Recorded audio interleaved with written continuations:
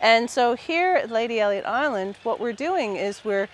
looking at, first of all, the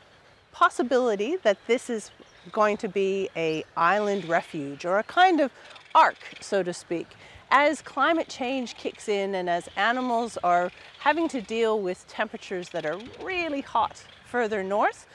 those mobile creatures can actually pick up and move, and they will actually start to move into these southern cooler waters like Lady Elliot.